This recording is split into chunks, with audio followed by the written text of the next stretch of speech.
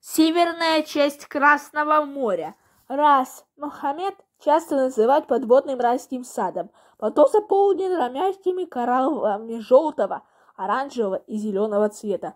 Также разнообразными твердыми кораллами. Морские анимоны, рыбы-клоуны, спинородьи, ярко-красные полосатые крылатки, кубаны и рыбы-наполеоны дополняют картину природного великолепия.